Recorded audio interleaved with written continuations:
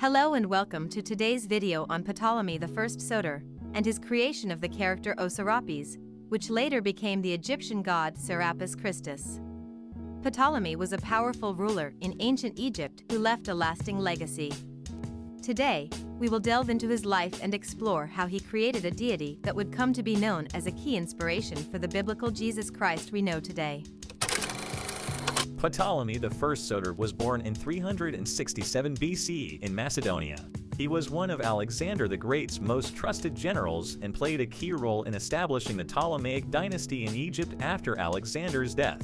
Ptolemy was a shrewd politician and a skilled military strategist, and he ruled Egypt from 305 to 282 BC. One of Ptolemy's most significant achievements was the creation of Serapis Christus a deity that blended aspects of Greek religion, the god Zeus, and Egyptian religion using Osiris and the Apis bull, called Oserapis, which later became Serapis for short. He was depicted as a powerful god with an imposing beard, often holding a staff or a cornucopia. Ptolemy commissioned the construction of a massive temple in Alexandria, next to the Library of Alexandria, called the Serapeum Library, dedicated specifically to Serapis Christus, and was one of the largest and most significant religious centers in the ancient world.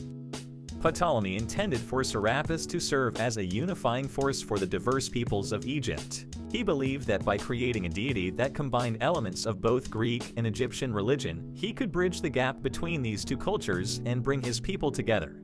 Serapis was seen as a powerful deity who could bring prosperity, fertility, and protection to his worshippers. As time went on, Serapis gained popularity not only in Egypt but also in other parts of the Mediterranean world.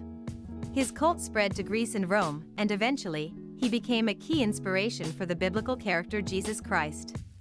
The similarities between Serapis and Jesus are striking. Both were depicted as powerful saviors who could perform miracles, heal the sick, and bring salvation to their followers. See this video for more similarities between these two. In conclusion, Ptolemy I Soter was a remarkable figure in ancient history who left a lasting legacy through his creation of Serapis Christus. The deity he created became a unifying force for the diverse peoples of Egypt and inspired countless worshippers throughout the Mediterranean world. Today, Serapis serves as a reminder of the enduring power of religion and the incredible influence that a single individual can have on the course of history and religion itself.